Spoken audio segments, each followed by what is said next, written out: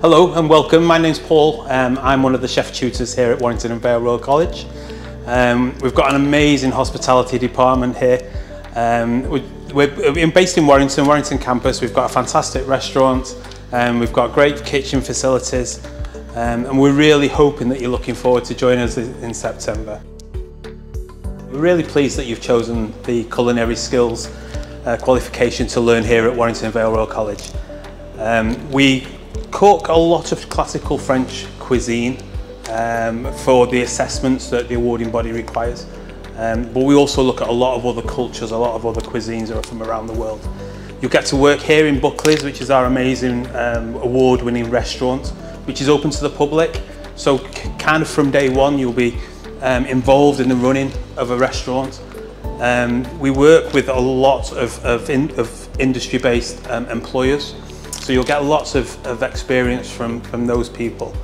Um, and you can kind of, by the time you've done your qualification, you can look at working in, in restaurants and hotels. Maybe you want to work in schools or hospitals, industrial catering. Um, the, the, the scope is really, really large. If you want to travel, there's cruise ships. Um, you can work in the armed forces. There's plenty, plenty of work for in hospitality. So during your time at college with us um, in hospitality and catering here at Warrington Royal College, um, we will get to, to experience an awful lot of industry-based activities. We have a lot of guest speakers, a lot of um, ex-chefs and students that have worked here um, that have gone on to pastures new.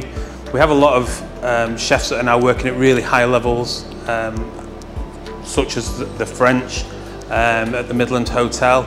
We have um, learners that work for Gary Usher who has elite bistros and they'll come back each year and they'll work with you, they'll spend a day um, and, and just showing you what they've learnt while they're out in industry. Okay, so we really look forward to seeing you on the new Student Welcome Day, which is the 4th of July, so put that note in your diary. Um, speak to Schools Engagement if you've not yet heard from us, and they'll put you in touch. Um, we'll see you then on the 4th of July. Good luck with your GCSEs.